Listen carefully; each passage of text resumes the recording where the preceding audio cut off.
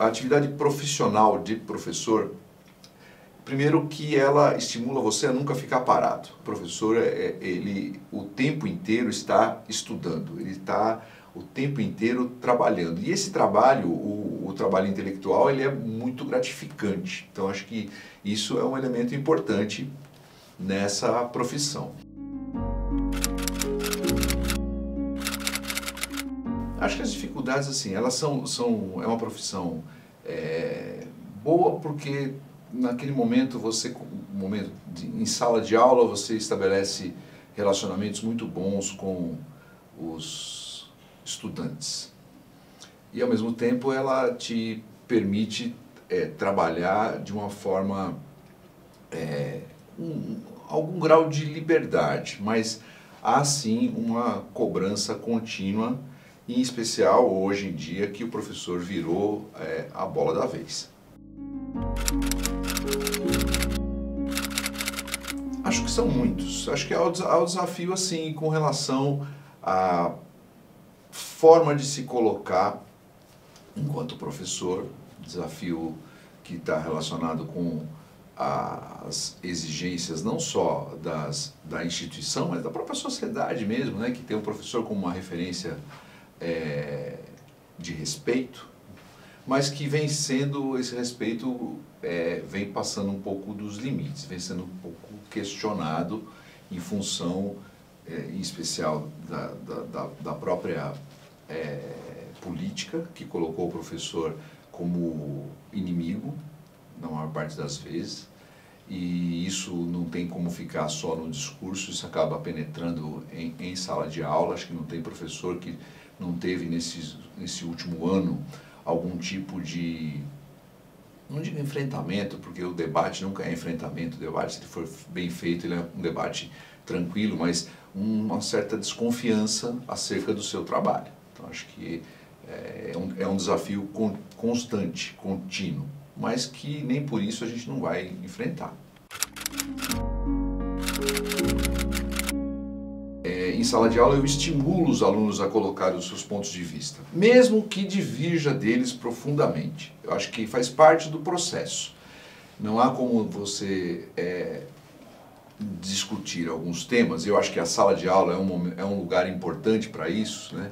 Não vejo que não se deva debater a política, né? debater história.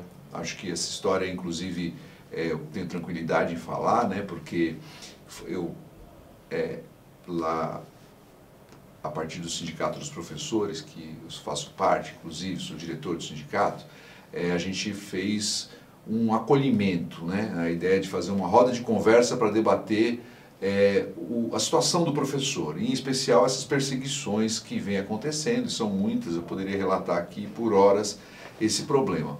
E é, é, essa ideia de que a escola é um lugar que o debate deve fluir sem censura. Então, criamos inclusive um movimento de escola sem censura para se contrapor a essa ideia, que é uma ideia é, que não tem, digamos assim, nenhuma base é, legal, que é a ideia da escola sem partido, que, que busca relativizar o debate e, na verdade, é proibir o debate sobre alguns temas é, dentro de sala de aula. Tudo isso começou com o debate acerca da questão da sexualidade, onde é,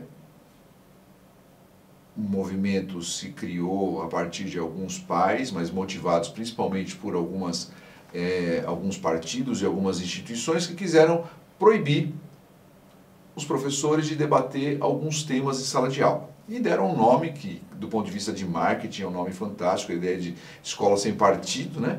para dizer o seguinte, que estavam, estavam as escolas e alguns professores é, usando o seu posicionamento de professor para impor uma determinada visão sobre as coisas. Não é essa a discussão. A discussão é que a escola tem, o, o professor dentro de sala de aula, ele tem obrigação de debater alguns temas. Está no processo de formação dos é, estudantes. E dentro desse processo, obviamente, aqueles que se sentiram de alguma maneira é, contrariados a, apelaram para proibir o debate em sala de aula. Então você imagina, por exemplo, a situação onde o estudante, o aluno, mesmo criança, ele conviva numa casa que há violência contra a mulher.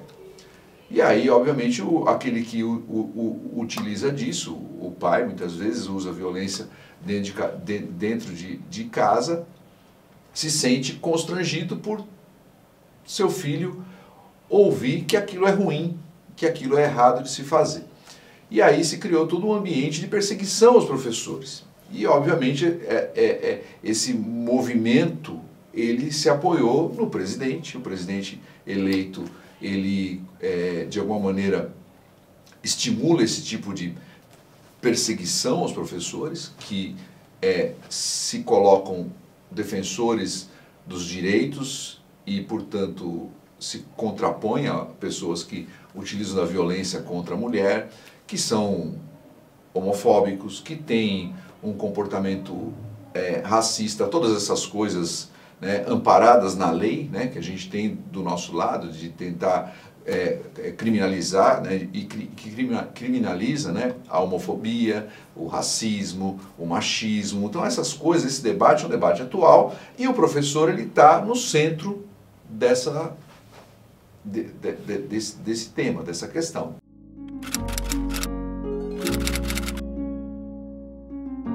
A profissão de professor, ela, em função de diversos processos, hoje o professor ele sofre.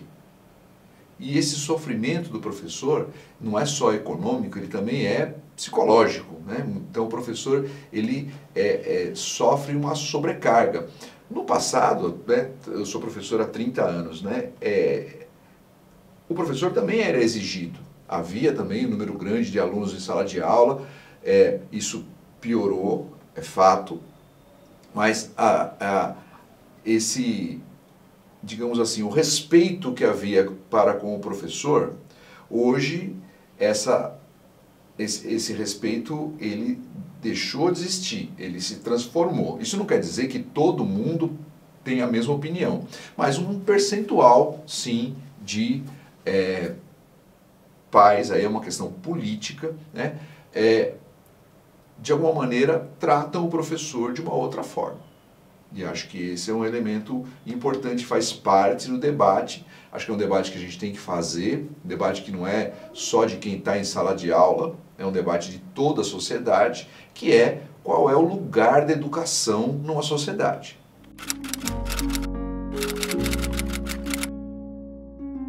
O professor, ele, esse papel, ele está muito ligado com o lugar que a educação tem numa sociedade. Se a gente quer, de fato, transformar, isso passa pela educação, nunca somente pela educação. educação como parte do processo. E o professor ele tem um papel fundamental nesse processo, que é de contribuir com a formação, com o espírito crítico, né? com essa educação que, que permita com que o conhecimento acumulado pela sociedade, historicamente acumulado, possa ser compartilhado por todos os membros da sociedade, é uma, é, é, é uma coisa estratégica até, o papel do professor. Então, o professor, enquanto atividade, creio que ela é central, tanto que é um tema presente em todos os países, então a gente vê que a educação ela não passa, né? Desapercebida, é um direito humano, então está previsto lá desde de, de 1948 na Carta da, da, ONU sobre Direitos Humanos, a educação como um direito humano, e o professor tem um papel chave nesse processo. Eu acho que essa, essa questão do papel do professor, é óbvio que nesse processo da educação a gente tem que fazer, aí eu vou fazer o link com o título do programa, né? É, a gente tem que olhar numa perspectiva de classe qual é o lugar do professor, qual é o lugar do trabalhador, como que ele pode se apropriar da educação para transformar. Nessa perspectiva, o professor ele tem um papel central, porque ele tem esse compromisso com a transformação também. A transformação não é simplesmente é, o, o, o, o fato de você, você compartilhar, mas é de ensinar a ter um posicionamento crítico a olhar para a sociedade numa perspectiva de entender o processo de transformação dela. Então, o professor ele tem esse papel central, né? numa perspectiva de, de, de classe mesmo, de como fazer essa transformação.